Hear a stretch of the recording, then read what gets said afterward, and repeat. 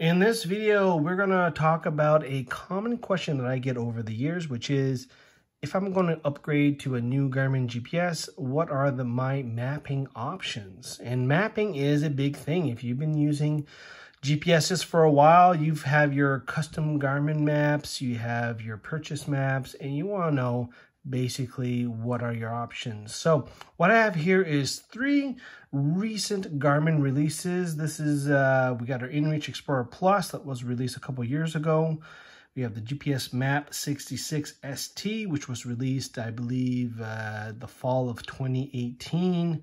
And then we got the eTrex 22X, which was released in the fall of 2019. Date of recording of this video is February 2020. All three of these GPS devices come with preloaded maps. Ironically, all three will have three different mapping products. So we're going to take a look at it and take a look at some of the options here.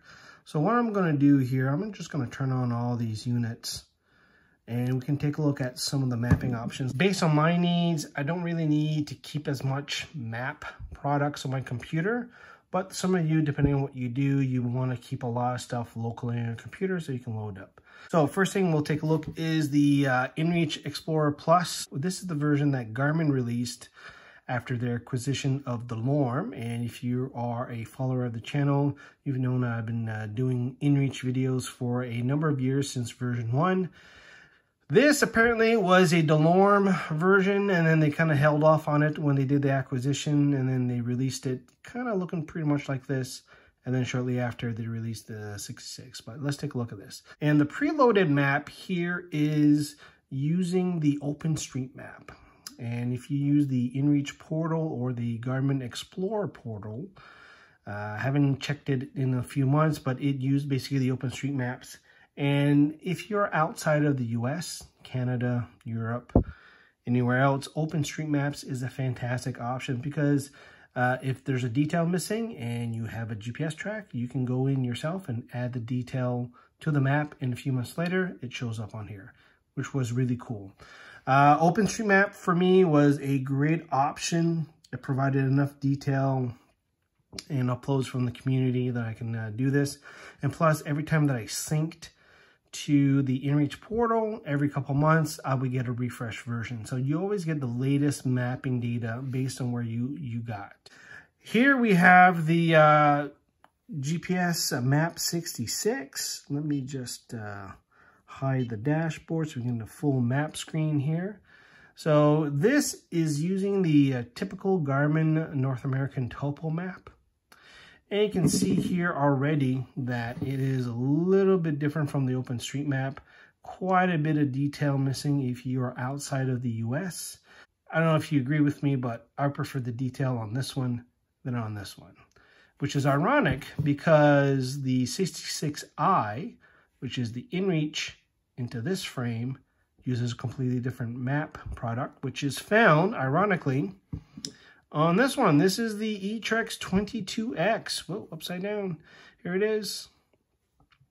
This is using the new Garmin Topo Active map, which from what I've read from the website is a, a hybrid of the Garmin base map, POIs, or points of interest, layered underneath the uh, Map. So you kind of got the detail from this one plus the POIs from this one, which when you're doing searches in this product here, fairly nice. We loaded up some geocaches with the little one here today.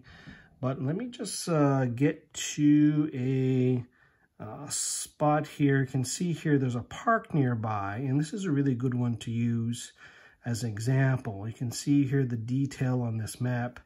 We have the OpenStreetMap trails that were added. And I know this because OpenStreetMap has these trail names listed here. And you can see that there is nothing. There is nothing listed right here because the Garmin product, which is the main disadvantage of using this if you're outside of the US. Just the details not there. And then when you have the InReach, if we were to look at and just scroll up to the park, you can see here that it has the OpenStreetMap data in its way.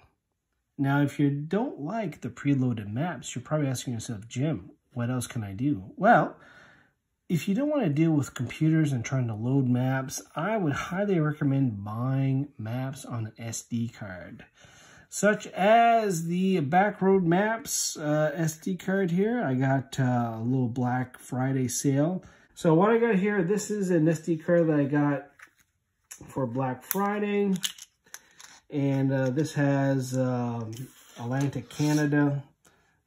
So this has uh, more than the mapping that I have.